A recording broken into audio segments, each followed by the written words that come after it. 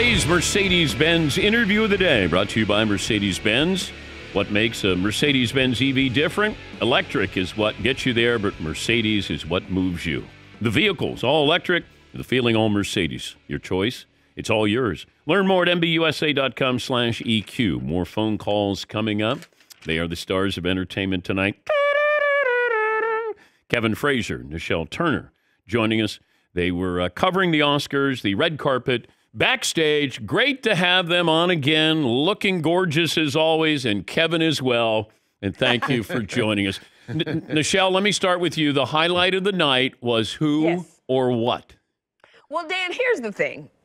I I'm I'm a little like verklempt that the highlight of the night for me was the I'm Just Ken performance by Ryan Gosling. Kudos to the Ken doll that you got there. Because think about it, Dan, the Barbie movie was about the patriarchy and how as women we always have to take the backseat to men and we always want to be liked and we have to twist ourselves into a pretzel to be seen. And we're talking about Ken this All award season you've been talking about, Ken. All award season. But it was phenomenal. I mean, the way Ryan leaned into the absurdity of it all was just incredible. I can't imagine how he felt in that moment because that crowd, not easy to entertain that crowd. No. No. No. But you, he, he, you're right. He leaned into the campiness of it, and then you bring Slash out there with his guitar solo, and Mm-hmm. I thought it was. I thought I, I I I worried. I thought I was going to cringe, and then it was done, and I go, Mm-hmm. "Damn, they pulled it off." What about Incredible. you, Kevin? We've been waiting all award season for that moment, and we've asked Ryan so many times about it, and everybody involved, and everybody has been, it's been mummed the word. But as we saw all the Kens coming down the carpet, we knew something was up. and the famous Kens, we were like, okay, here we go. Mark Ronson just came out and told us it's going to be spectacular. Yeah, he said the gig is up, the And- Kens are here, we're about to wreck the stage. Yeah, and Valerie Bertinelli was gushing about Wolfgang um, Van Halen, her son. So she just told us everything too. So I thought that was a great moment. I also love the John Cena moment because the fact that he leaned into said, being "Hmm." naked. I mean, I was like, John, are you naked? I mean, he did have on a little something. It was, Nischelle is calling it underwear, but I'm Well, calling it's like it a banana hammock, Dan. It was That's what Dan. the There was barely nothing there. Yeah, that's what the man There was had on. nothing it was there. flesh colored, a little bikini, string bikini underneath it. But they had it placed very low. I didn't know what was happening behind that envelope. Well, you are a great reporter, so I'm sure sure you figured it investigated. out. Yeah. I, look, I was, if I'm being honest, I was trying to get a peep. Okay. I did.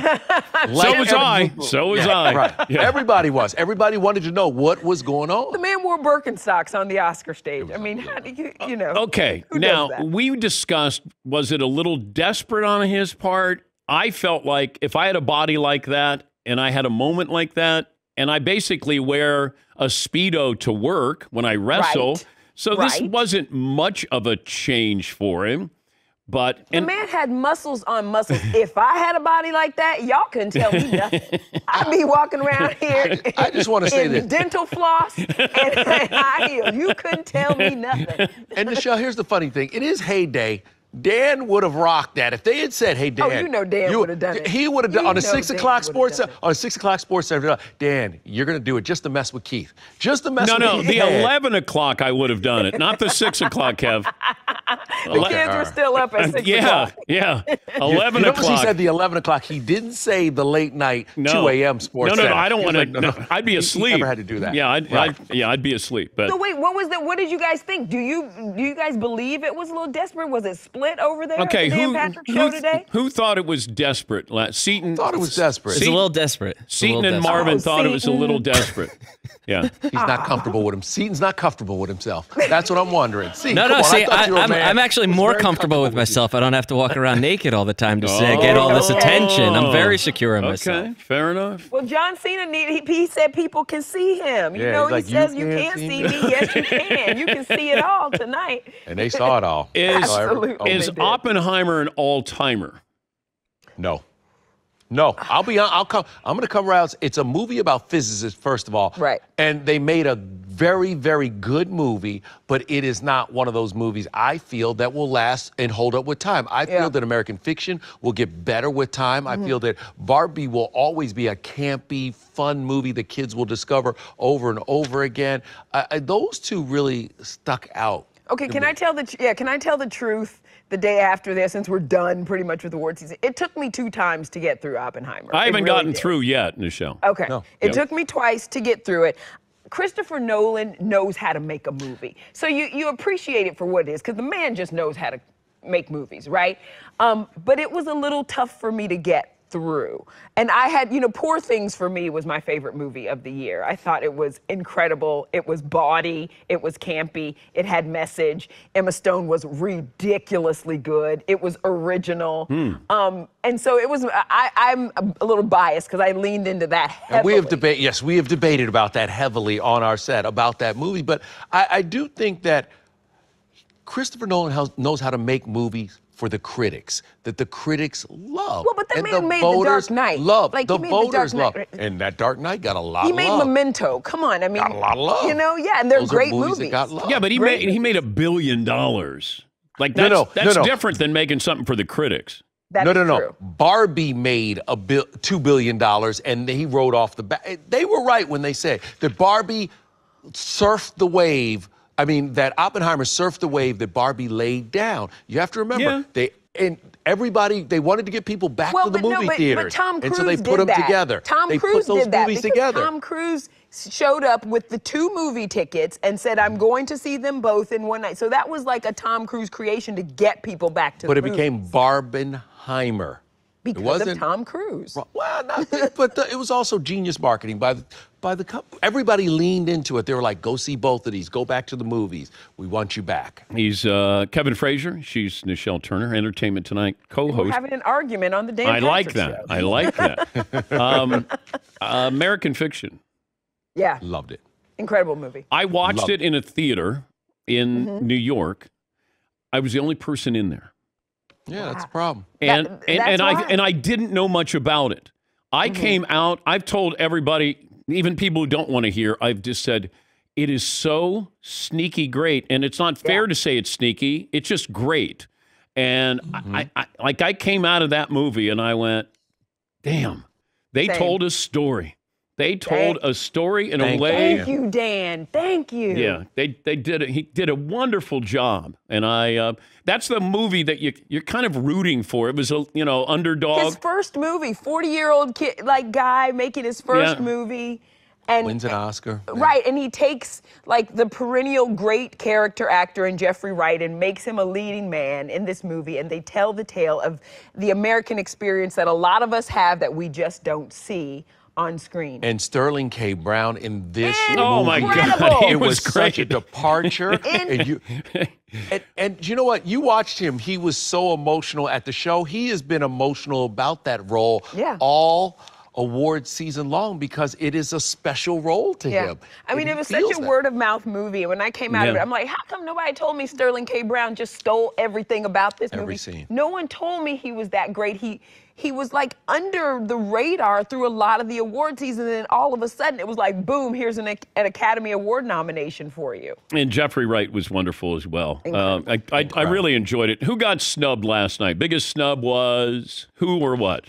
Okay. Well, Lily. Glad, Lily Gladstone, I thought it was Yeah, a we'll moment. fight about this. It was a moment to fix what happened at the Academy Awards back when Sacheen uh, Littlefeather was snubbed for um, grabbing Marlon Brando's or not accepting Marlon Brando's Best Actor award. Yeah. And here you have a great story, an important story, and an important moment. And I thought that Lily Gladstone should have won. And um, you loved Emma Stone in that role. I thought Emma love Stone was Lily the best Gladstone. performance of the season in any movie, and and this is why art is subjective. Uh, yes, Killers of the Flower Moon is an important movie that needed to be told and was told very well. They did an amazing job in that, and we need to still tell the story of the indigenous people and what Yes. they went through in this country. I just don't either way i thought it would have been great i mean I- I, I didn't you know so i don't think it was a snub i don't think it was an upset i think it was just a pick and they were both incredible performances lily gladstone was the heart and soul of that movie Yeah. but emma stone like she created, she took a blank canvas and created something we had never seen. Okay, but how can you say that and then we look at Greta Gerwig standing in the front row, not even getting nominated, didn't create- and she created an incredible Well, world for Barbie- Barbie, an incredible Barbie world. Yes, but but the the prototype was there, and if you are a little girl who grew up in the Barbie world and also who grew up in this country, that story is has been told. She magnified it and brought us the story of the patriarchy, but it wasn't a new Look how we're still talking about Ken. Look how we're still talking about Ken. Well, but that's what and, the and, movie was and the. Frankenstein story is not new. It's just a twist. But on that the wasn't the Frankenstein It was story. basically. It was not the. See, this is story. what I want to tune again. into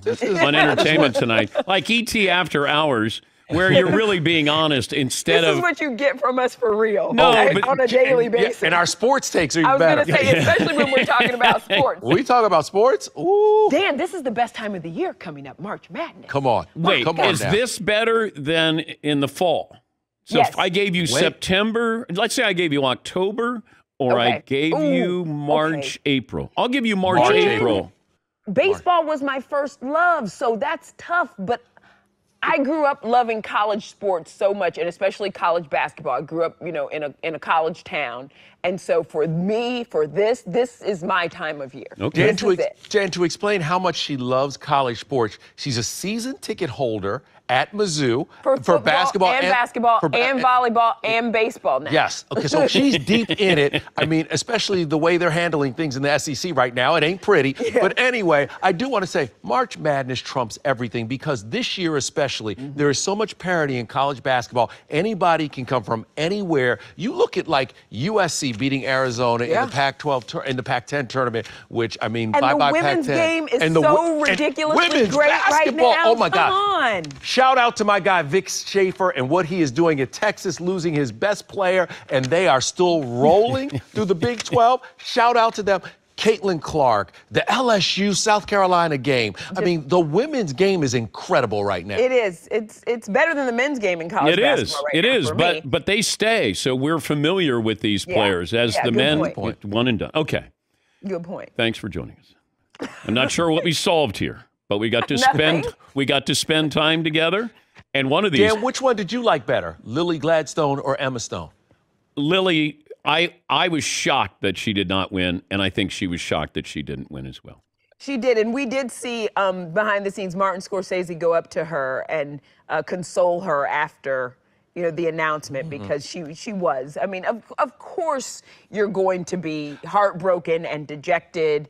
They had watch parties in her hometown Yeah. for her. I mean, of course it's going to happen. I, just I'm being I'm be- being moment. yelled at. I'm being yelled at oh sorry. by somebody on your end that I have Oh. to go. I Well, it's just a, Well, it's you know easy, guys. We're on Dan's Kevin show. Frazier is the boss over We're on, here. we're on I- Dan's all show, I know guys. is I- we're on the When Dan. Patrick show. Come on this now. is the patriarchy. The men Dan, run we're the about to show play the music like a speech that goes on too long. oh that kind of music. Oh yeah, yeah, like you're going too long with your speech there. Exactly. It- uh, yeah, Dan, but we will. I am mourning this morning the law, Lily Gladstone's loss. I Understood. I get it. And that's it. Wow, we'll Michelle. say So goodnight.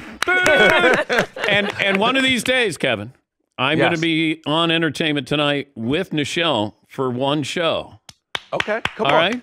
Please. While I come and I come and do the You Dan, I do come the and your show. You do I'll the your show, and I'm going to be on entertainment How tonight. about you come and do the show with Kevin and I come do your show? Well, Oh wow! Heck yeah. that's kind of Oh wow! that's Heck yeah. that's awkward. I'd I'd love for you to do it, but I would prefer to co-host with you, Nischelle. Dan, you co-hosted with men all I your life. I know. What's the problem? I know. Okay, don't disrespect Keith and Stu and Rich and me. And, All right, we gotta go, and that is it. And we say goodbye, attend? Nischelle and Kevin. Thank you. I, I gotta. I, I have to. They're still talking. They're still talking. They, mm. they were telling. See you guys. They were giving us a rap. You know, like come on, like tell them, tell them to shut up. I go okay. right, Tell them to shut up. Kevin Frazier, Nischelle Turner. Whew. Yeah.